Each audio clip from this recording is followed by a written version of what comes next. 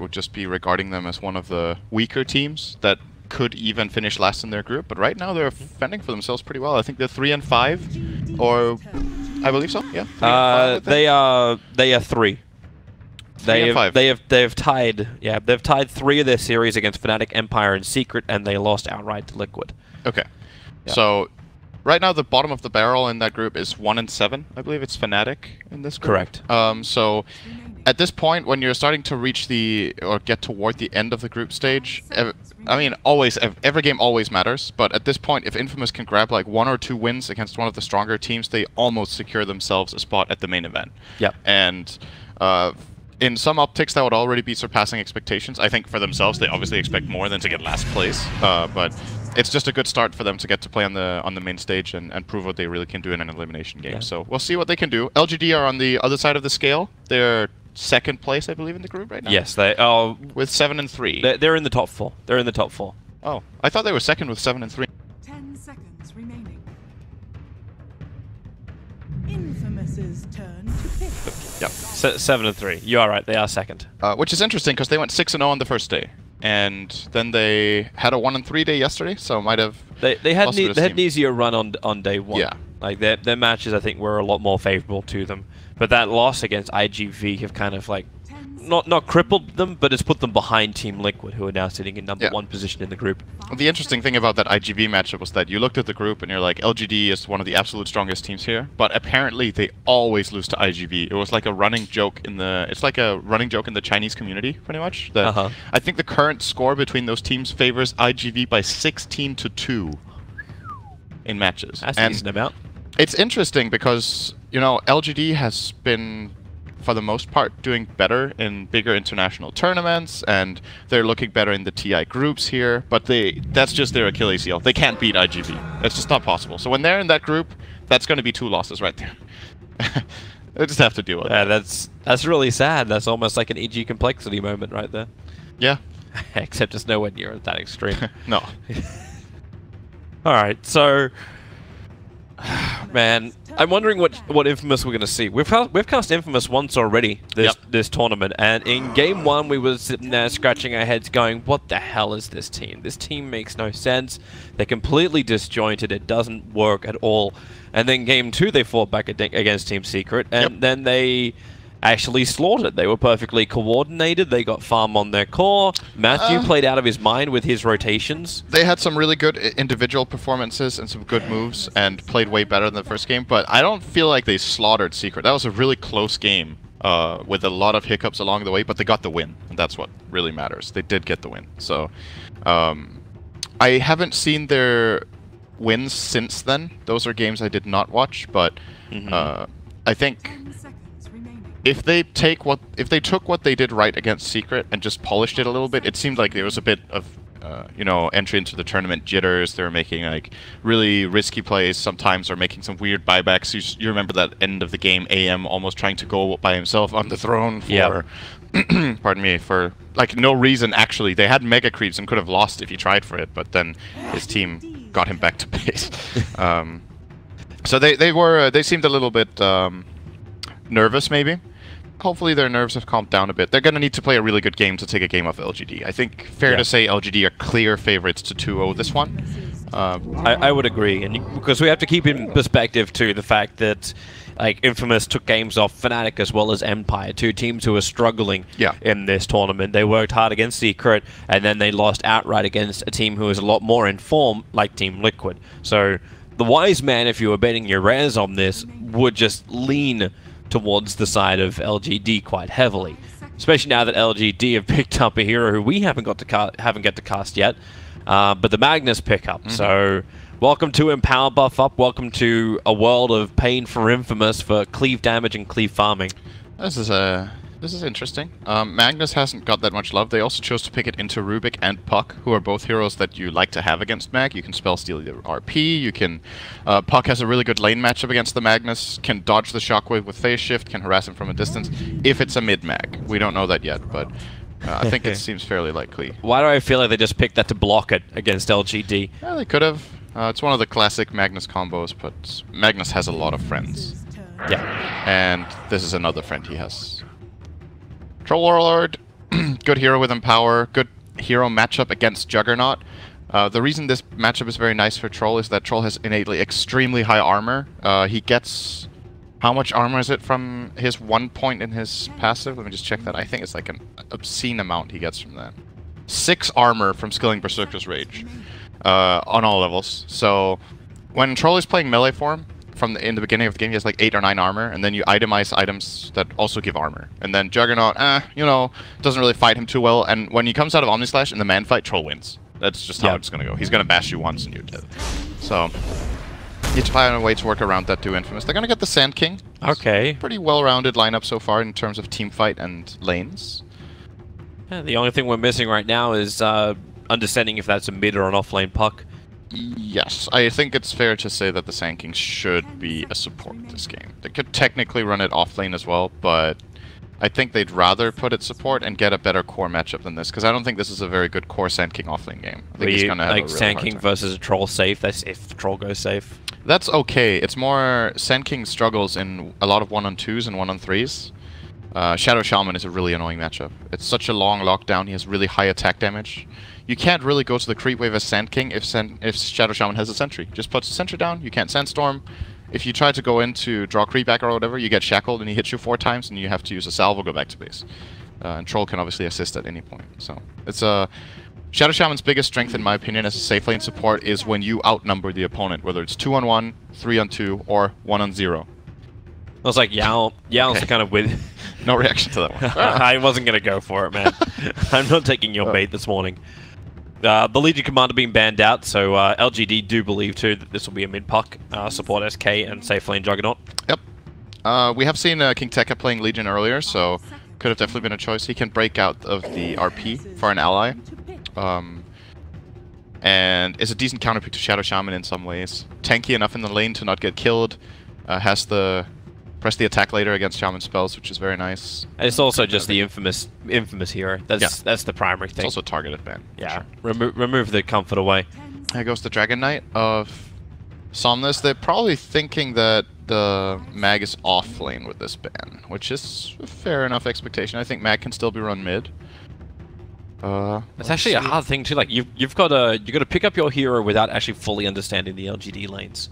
Yeah, Even even knowing like what your off lane is, like they're making assumptions and they go for a Doombringer, could even be a troll mid. a troll mid. Yeah, it could be a troll mid. Could easily be a troll mid. It's Right- matchup. Puck, right now, Puck loses this lane. Uh, it's one of the hardest matchups for Puck actually to play. It's very annoying because, like I said, Troll has really high armor. So the way Puck generally wins its lanes is that it just consistently harasses the opponent and takes advantage of phase shift and the orb. But Troll can fight you back. He can just run at you, and you have to yield. You're going to lose the man fight against this hero, and that's something Puck doesn't do to too many heroes in mid. So I wonder why they went They for the Doombringer. yeah, Like, it, wonder it, doesn't make as lo- as much sense to me. Uh, I think it's like a pretty hard Doom game actually. Yeah, it's like harassment in the lane's going to be at least something he can because that's what well Doombringer's been picked for in this tournament.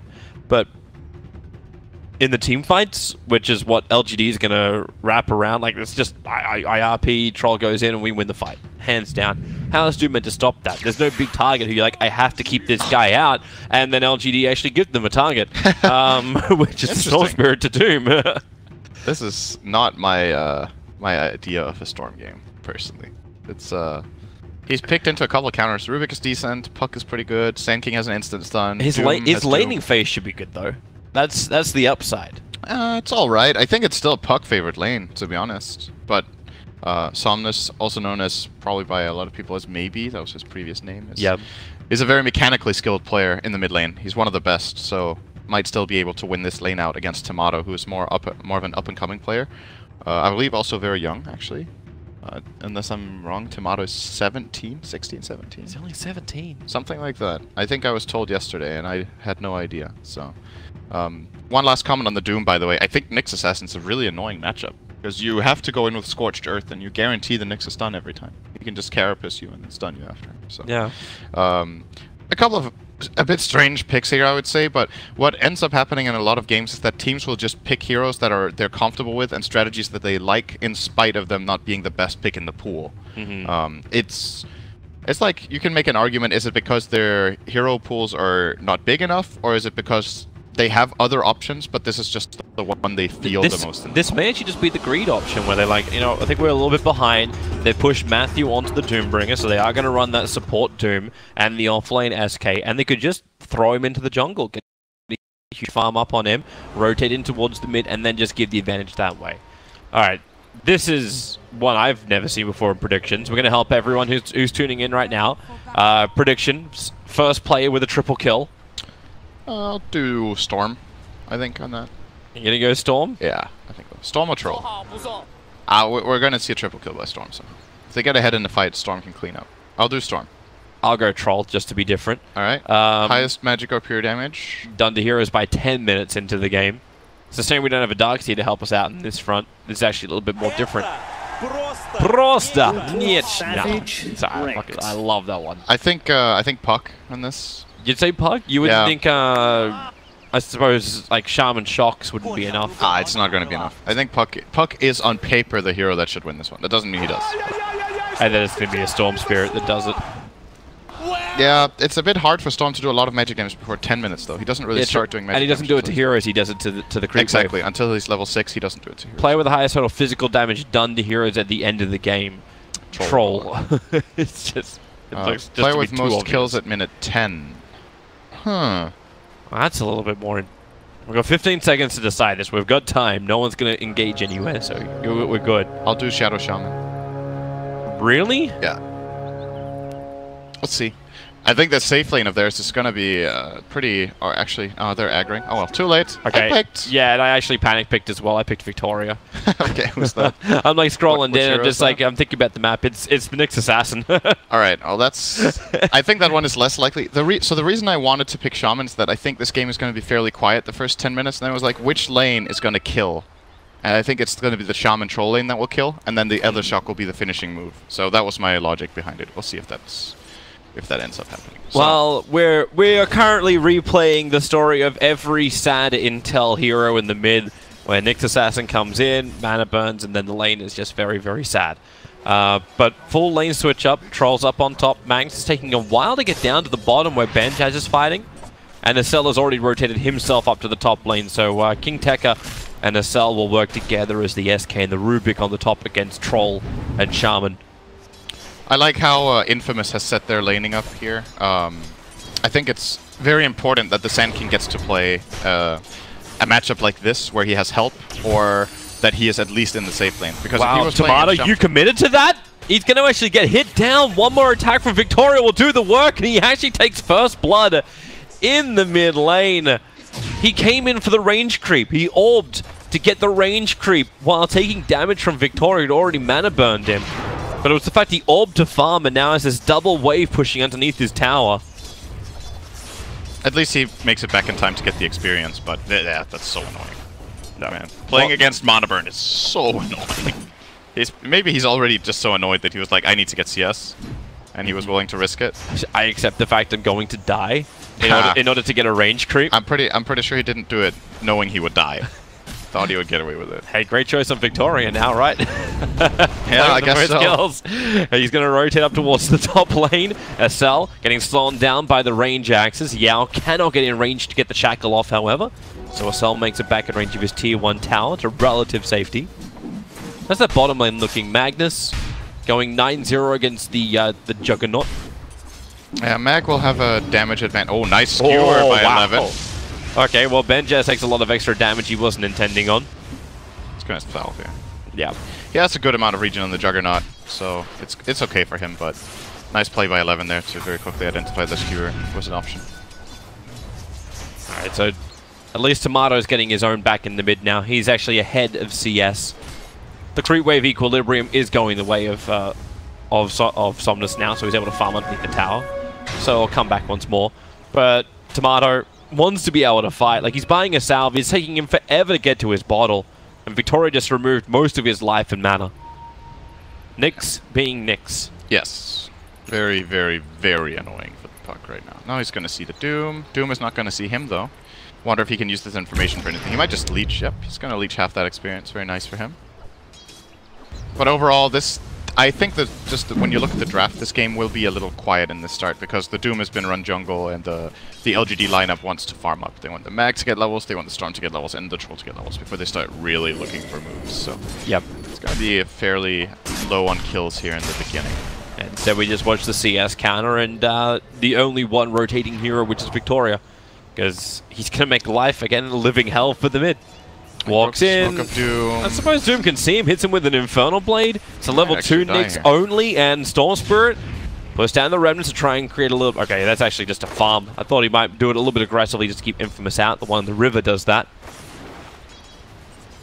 So, Victoria, he's got one mana burn left, and then we'll probably go back to base. Doesn't want to get too close, but then again, how do you even initiate? Matthew can't close the distance fast enough. Oh, he needs to be careful not to get stunned there. Could have hurt a lot.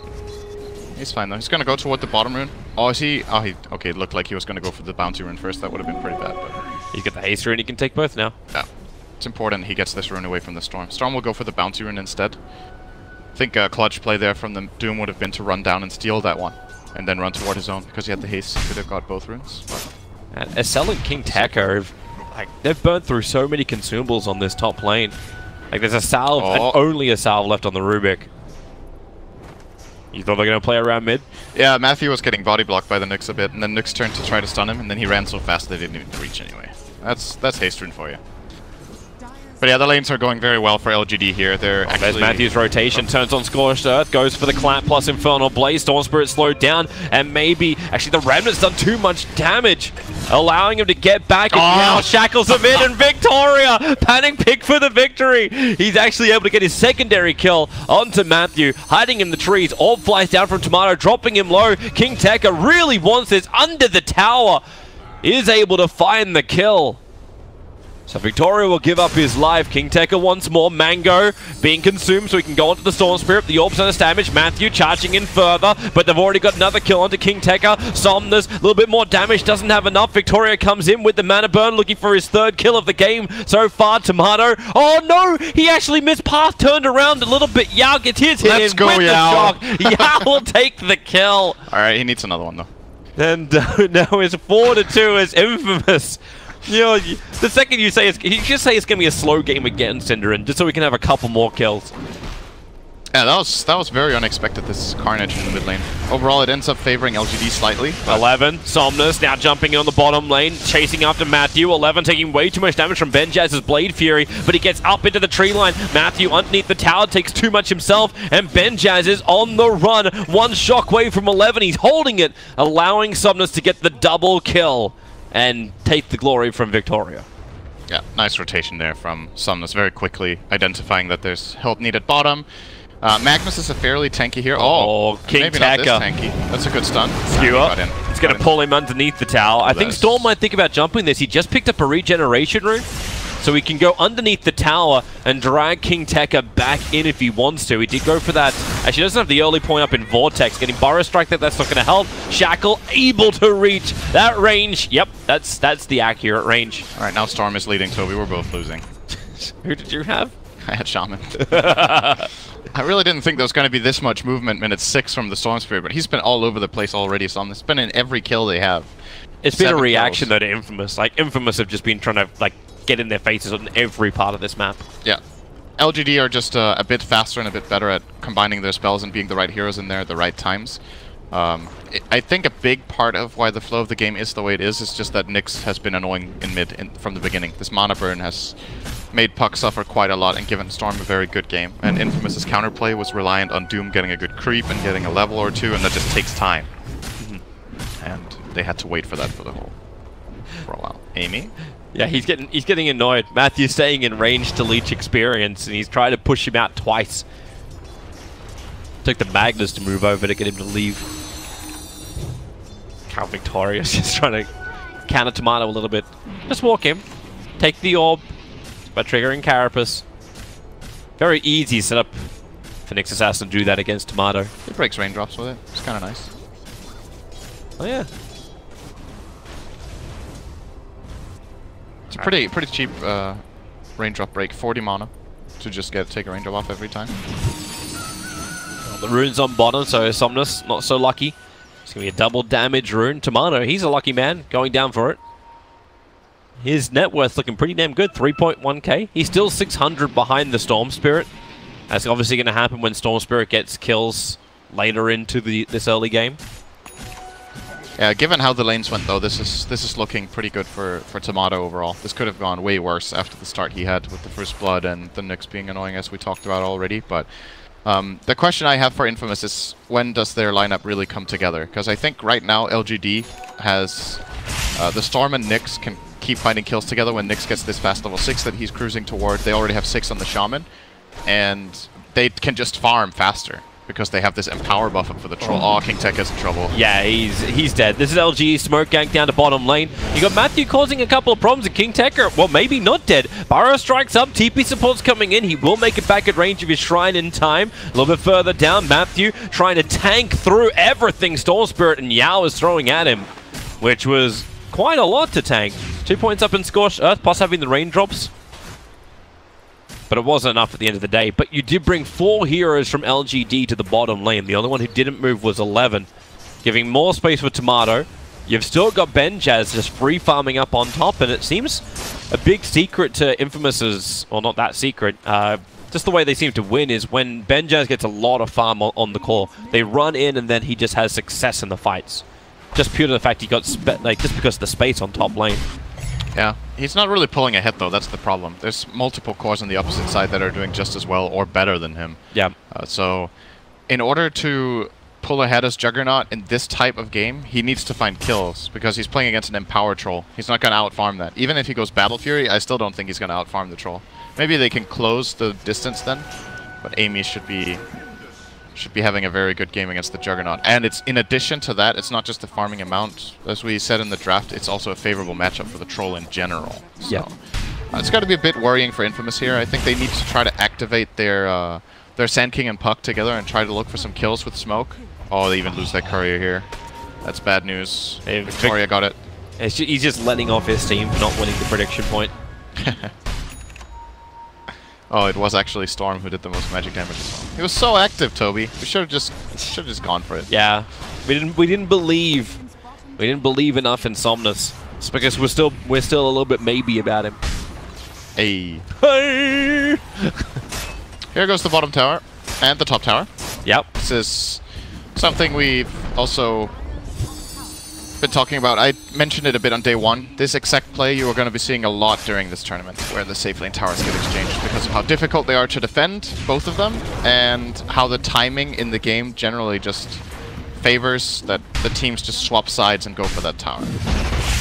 It also makes a lot of sense when you run a hero like a Shadow Shaman, looking for that easy push with the Mass Serpent was to start with. Now, Tomato trying to actually have a crack at a at uh, Ame, and the reason why is because you got a smoke maneuver from the rest of Infamous. They're rotating up, Sentry Ward's down, but Victoria, he breaks the smoke. They don't have the detection to trigger at the moment as Victoria looks into the back line, sees everyone coming in LGD.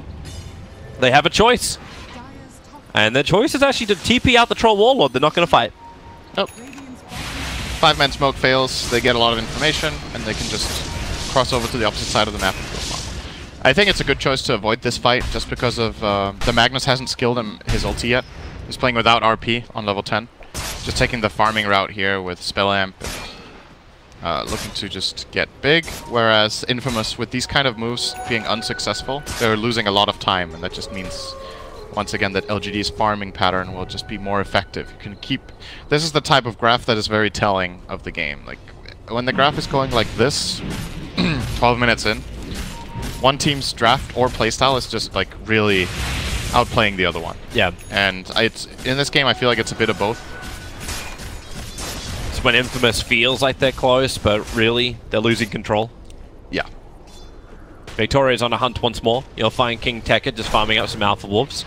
Storm Spirit's nearby. Um, at the same time, if Victoria goes on this, it's not going to work. The smoke instantly breaks. This next Assassin, that's twice now has happened. They put down the Sentry Ward.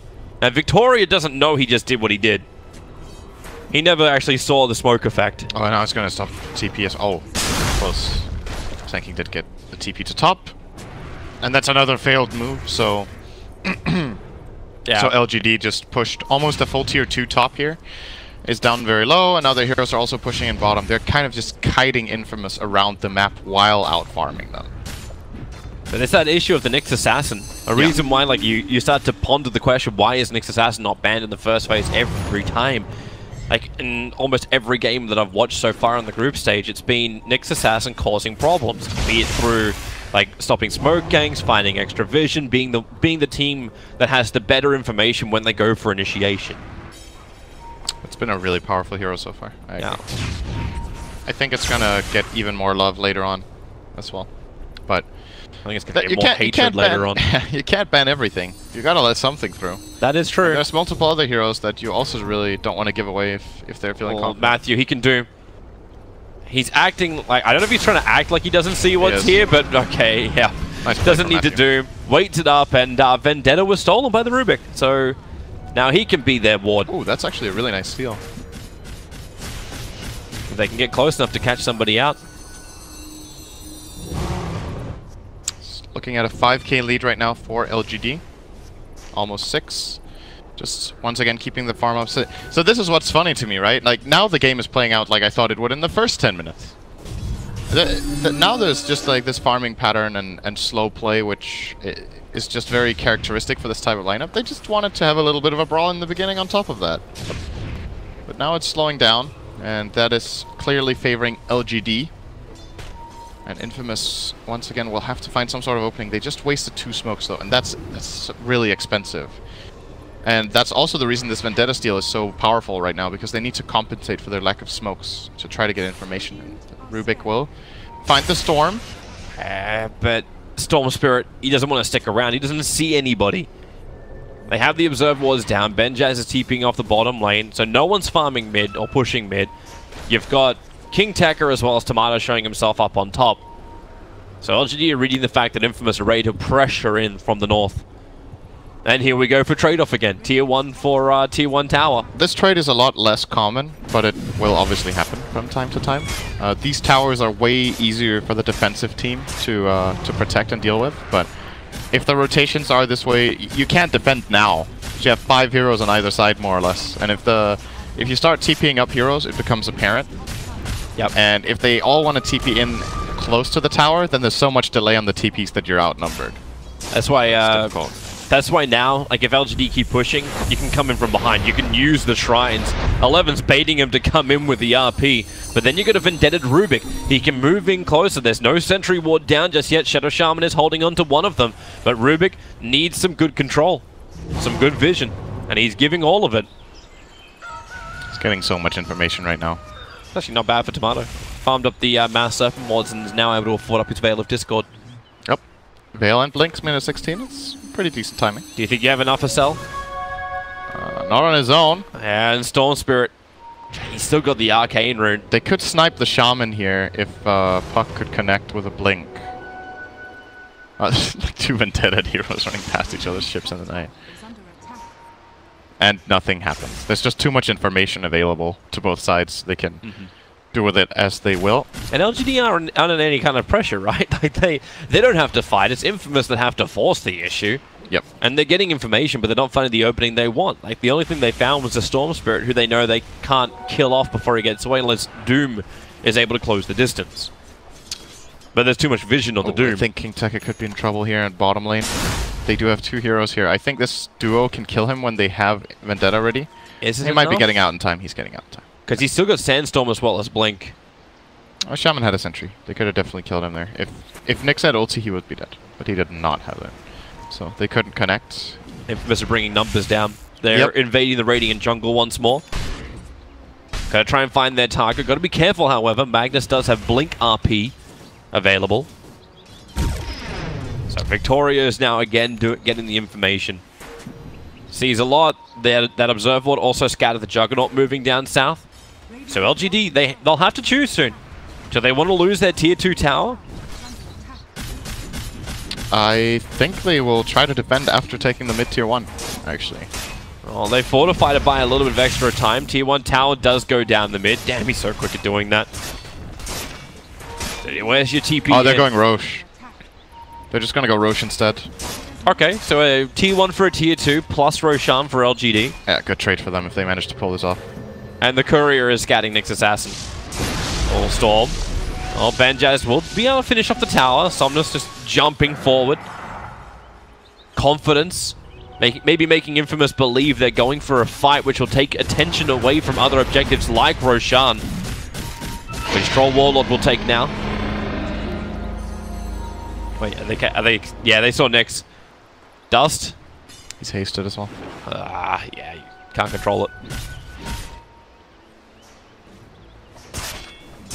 Tomato does have his blink as well, so a blink into Dream Coil. They can lock him down. As if Victoria decides to get a little bit cute, Aw, mid. which he did beautifully. He actually spied Carapace, so the um, the caustic finale would trigger. I believe that's actually what he what he just did then. Yep. Sounds likely. So, uh, is a pretty good hero against Sand King because the way Sand King plays fights is a lot about weaving in and out and has these abilities that uh, all deal damage. So if you Carapace at the right time, you can mess with him quite a lot. It could have also just been a Sandstorm there. You could have Carapaced the Sandstorm. He could have Carapaced the Burrow Strike if he predicts that's coming in. And even when Sand King Epicenters in, if you're Carapaced, he will not be able to really land his stun instantly. So, uh, Nyx is just good against a lot of heroes. Oh, fight's coming on top lane. Where's that vision from the Radiant? It's not in deep enough yet. They just leave one defensive ward, but eyes are on the Doom. And walking around with a dust and Troll just blinks forward, looking for the kill on Matthew. They'll get the Burrow Strike off, and now with the Dream Coil catching three and the Silence on three. This is Infamous's fight. The Mass Serpent wants it down. RP really not doing anything because he never got it off. He died too quickly. Aegis Immortal has brought the Troll back to life again. Benjaz has to start retreating out. Meanwhile, Storm looking for King Tekka, who Burrow strikes himself away with a double stun, trying to get the distance. The Healing Ward cannot give enough regeneration. But Infamous with a 2-2 trade-off. Now Aegis. Serpent are away from the tower. And Aegis is burned, as you said. Infamous would have won this fight really hard if Juggernaut had mana enough for his ultimate, but he didn't. There was no Omnislash in that fight even. He would have got a secondary kill on the troll perhaps. That moment you need to mango. I'm not sure why his mana was so low though. He he used spin and healing ward. I guess I guess he used spin, healing ward, and TP, and then maybe his, his manta. Then he doesn't have the mana anymore. That's a problem that Juggernaut has to deal with in his itemization. You generally see Juggers go for this build where you have Ring of Aquila into Manta style, but some Juggers uh, do a, a drum on the way to solve this problem. Not in Benjaz' build though. He's going to go for the Diffusal, which will also help a bit on the mana front. And now he's flying out of Clarity. That's a bit too late. but know, Better, better late than never. uh, he's got, he needs to stay full mana all the time in case a fight breaks out, else the the LGD side will be able to abuse the fact that Omnislash is not present. I think in that fight, Benjaz's, you know, it's easy to say afterwards, but I think it's better for him to probably just get the Omnislash off rather than the spin, and then play around afterwards. But it was a really good spin too, so it's hard to it's hard to say whether it would have been better or not. But the the position that Tomato set up for them was really good, so I think he could have maybe even survived without his spin afterwards. Uh, but with that three-man call, huh? Oh, Victoria! Oh, they didn't see him. Yeah, they moved to the other side, Oh, but they may be really kill. happy about it if they can kill off the troll. No! He'll blink down King Tekka. He got close. But not close enough. They did actually see that Radiant Sentry ward there. But they don't want to kill it off. It still reveals their position or confirms their position if they do it. So instead, Infamous look towards the mid. And LGD, maybe this time 11 will be able to get that RP off. Now he's got a Shadow Blade available. Uh, they might smoke here. Yep. Five man smoke. Troll Warlord was in range though, and he'll actually break his smoke to Infamous. Yeah, they ping. They were paying attention. So LGD gonna go for a wraparound. But who do they find? Infamous are pretty tight in together. Oh, Benjaz, this is so greedy. If he gets caught here, this is going to be awful for Infamous. This is so bad of a position next to the enemy It's shrine. either that or he is the trap. He missed the first stun, gets his spin off. SL able to actually get the lift into the tomb, onto the Storm Spirit. He'll have the regeneration thanks to the fact they're fighting on top of the shrine. RP catching two, but then uh, it's actually not RP stolen, who was only skewer from SL. There's nothing more he can do. Ame's already got himself a triple kill. And on two out of the three cores of Infamous to boot. If Infamous want to make this play, you either you either commit fully or you don't go. And the problem there is that the the Rubik and the Doom set up the storm next to the shrine, but the Juggernaut didn't get in. And then, you know, th th this is already an inferior fighting position where LGD are coming in smoke from the bottom side, and they get a a good two hero RP skewer into the into the shrine, into the serpent wards. The fight is over. Yeah, They have to they have to all in pounce and just see what picks they can get immediately to build themselves an advantage in this shrine fight, or they need to not even be there. That's very greedy, in my opinion, from Benjaz to farm the ancients in this position. Just trying to be efficient. But, absolutely. yeah. I mean, I think Infamous has the right idea that they're trying to set up a fight like that, where maybe they um, they position themselves so LGD show first, and then they get the jump. But the problem is that that fighting position is just too bad. There's even an observer ward from the Radiant placed there as well at the shrine, so um, it's unlikely. If Infamous want to spring this exact trap, they need someone to stand in the tree line below the shrine so that the smoke pops before they head in. And they have all the information, then they ideally they also have a ward down, and then they can The Infamous are coming again. The Oh, jump up. Matthew wow. takes so much damage. The BKB triggered from the Troll Warlord. Somnus doesn't find his opening just yet, but the Troll Warlord, the never-ending bash onto Benjaz. He goes for the Omni Slash now, but gets bashed the second he gets out of it. The Troll versus Jugger. We talked about it. And that is Exhibit A, B, and C of how superior it is. We've got a skewering chicken from Rubik, but that is not enough to escape the Troll's mouth. And this could be It could be, it could be mid-rax. It It- could even be game. they can't reach the rax before the entirety of Infamous respawn, but they, they LGD have to be feeling how far ahead they are based They on have- these couple of fights, so they might just go for it. They have RP wards. up right now. Like it just came off cooldown. Yeah, You've got 18 wards, Bloodstone charges on a Storm Spirit. Yeah, this should be rax actually. They have Serpent wards and Empower running. Epicenter. Oh, he'll commit it. King Tekka, the damage is decent, but Yao doesn't die, and now Somnus controls him. King Tekka will fall. There was no follow. Of the puck just wasn't there. And now he gets RP'd skewed into Vortex, just thrown around like a rag doll. Jumps forward, at least can kill off the Shaman, but loses his life, and it just seems like Infamous are trying to get a couple of kills to their name. Victoria might help them out with that one. He'll have Spike Carapace, second he hits the ground, but throws out the stun instead. The Tier 3 tower is lost, and LGD couple of consolation prizes given to Infamous. Yeah, they did get the rax, but they still got kills and the tower. So, uh, what was that trade overall? I think it was two for two. Yep, and an extra two Bloodstone charges into the Storm Spirit. Yep. Just That was a pretty clutch play, by the way, from Matthew there with the Glimmer Cape onto the puck. I thought Puck was just going to die during that RP, but they got the Glimmer off. He got the phase off. He jumped in and killed the Shadow Shaman. Almost got out. If it wasn't for Spike Carapace, that could have been a kill into escape for Tomato, but Nyx Victoria was fast in the moment, and therefore LGD should just be probably looking to either wait for the next Roshan or just go for a smoke play right now and, and try to end the game. If they take any good fight on the enemy side of the map, the game ends. They can actually just get two sides of rax or maybe even all the way to the throne if they win a good fight. So, well, Roshan could be up in about 10 seconds' time, so we'll Yep. keep our eyes very closely on him. Infamous need to be on their toes now. And again, they I think they have to to look for a fight themselves once again. It's not Oh. easy though. They're looking for one. It's the Troll Warlord. Oh. Oh. no! He used the wrong target, so the Dream Coil onto the Troll Warlord. Matthew's trying to get in range, and now the Troll, they turn around on the Doombringer. There goes your Omni Slash, but Benjaz, the damage is minimal until now. He does the spin onto Yao, but Ame right on the money. Benjaz will fall. Tomato goes on the run, but the Orchid is also there from the Storm Spirit. A silenced up Puck can't go anywhere, and GG is called. Infamous understand this game is definitely over. Pretty clean game overall from LGD. There were a couple of minor mistakes, but they just they understood their lineup very well, what it could do, what it needed to do. Maybe even did a bit better than expected in the lanes. Uh, the Storm kill in mid, for example, or rather the Nyx kill on the puck in the beginning, a couple of extras that he found. Uh, propelled them into a pretty easy mid game. Yes, this was a very predictable game after a minute, like 10, just because of you could you could just see the tendency of the game how it was going. Infamous tried their best to find the smoke picks, they didn't get them. Then they were like cornered and out farmed, and eventually just get rolled over. We got one prediction. We got the troll, Toby. It's not. I got two predictions. Oh, I, you did? I had the troll on one as well for uh, for oh, the, first triple kill. Oh, right, yeah. Yeah, so Storm did get a triple though, I think, but he didn't get the first one. no, he didn't. That one belonged to Ame. Ah. Yeah, victory is mine, and hopefully uh, game two, maybe victory goes the way of Infamous. We can keep this series nice and close. Either way, we'll find out after the break.